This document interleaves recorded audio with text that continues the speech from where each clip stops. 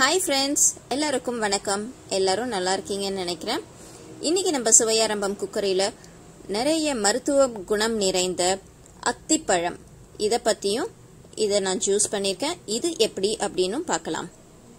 இந்த அத்திப்பழம் காய வச்சு கடையில் கிடைக்குது. அது ரொம்ப ரொம்ப ரொம்ப மருத்துவ குணம் நிறைந்தது. இதோட டேஸ்ட் எப்படி இருக்கும்னு சொல்லிட்டே வந்துட்டு நினைச்சுமா நிறைய பேர் பயந்து சாப்பிட மாட்டாங்க. இது எலும்புகளை ரொம்ப வலிமையாக்கும். அது மட்டும் இல்லாம அயன் சத்து நிறைந்தது.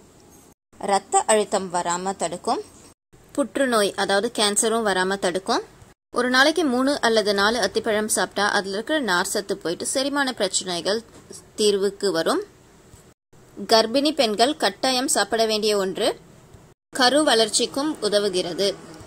ரொம்ப சத்து நிறைந்ததால் எல்லாருமே கண்டிப்பா சாப்பிடலாம் ஃப்ரெண்ட்ஸ் அப்புறம் நான் இப்போ ரொம்ப சிம்பிளா நாட்டு சக்கரை வச்சு மில்க் ஷேக் செஞ்சுருக்கேன்.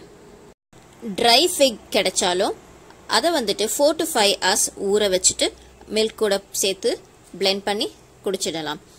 அது கூட தேவைன்னா பாதாம் கூட சேர்த்து ஊற வச்சிடலாம். பிளெண்ட் பண்ணும்போது அதையும் சேர்த்து பிளெண்ட் பண்ணி குடிக்கலாம். இது காயா இருக்கும் போது பொரியலும் செய்யலாம் அப்படின்னு சொல்லிட்டு எங்கள் அத்தை சொல்லியிருக்காங்க. எனக்கு காய் கிடைச்சதுன்னா கண்டிப்பாக பொரியல் ரெசிபியும் உங்களோட ஷேர் பண்ணுறேன் ஃப்ரெண்ட்ஸ் இந்த சத்து நிறைந்த இந்த பழத்தை மிஸ் பண்ணிடாதீங்க. கிடைக்கும் போதெல்லாம் சாப்பிட்டுடுங்க.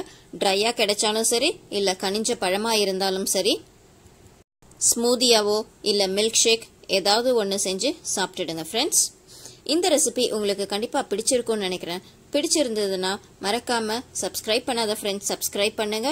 அந்த பெல் பட்டனையும் டிங் டாங்னு அடிச்சிடுங்க. மேலும் சுவைகளுக்கு சுவை ஆரம்பமோட டிராவல் பண்ணுங்க. உங்க வீட்லயும் சுவை ஆரம்பமாகட்டும் ஃப்ரெண்ட்ஸ் நன்றி.